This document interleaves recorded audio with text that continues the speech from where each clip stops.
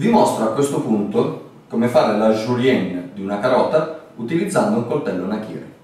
È una tecnica più giapponese che occidentale.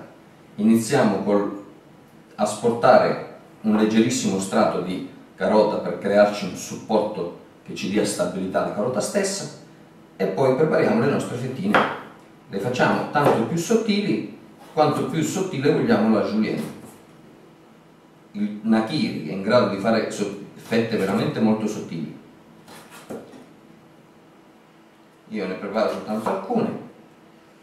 Eccole, le potete vedere, sono estremamente sottili.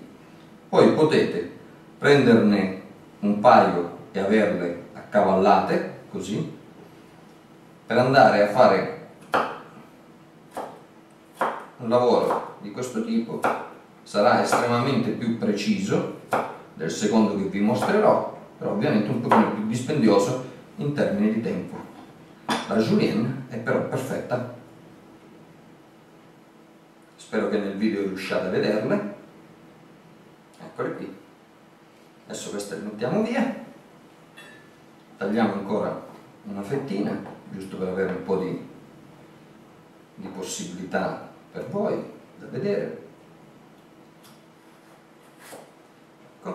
L'altro modo, un po' più veloce, è quello di accavallare le vostre fette, averne tutta una serie, si può riempire tutto il tagliere e poi procedere così. Normalmente il nakiri lo teniamo in questo modo e poi si va in velocità su tutta la fila di carote sino ad esaurimento. L'ultima scartatela così non rischiate di, di farvi male tagliandovi le unghie ed ecco ancora.